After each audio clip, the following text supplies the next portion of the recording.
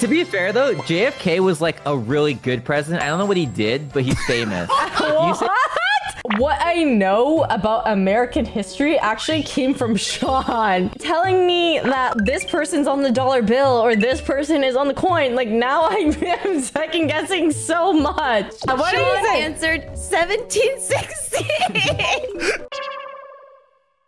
I thought he was at least gonna guess the 1800s. And that, even that would have been completely so far off. But I did not think he would even go a century lower than that.